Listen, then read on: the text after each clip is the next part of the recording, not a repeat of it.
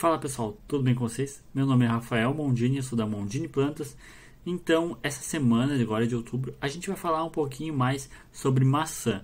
Sim, maçã é uma variedade que muita gente consome, é uma fruta muito consumida então também pode ser plantada, pode ser cultivada na sua casa.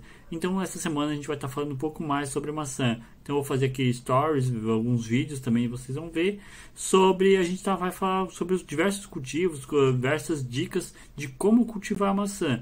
Então para começar, a maçã é, existem diversas variedades, existem inúmeras variedades com várias finalidades. Então maçã pode ser plantada tanto para suco como para consumo in natura e tudo isso a gente também vai falar um pouco mais de como você cultiva elas e os locais indicados para cultivar ela. Então nos acompanhe que a gente vai se vendo essa semana aí todos os dias. Forte abraço e até mais.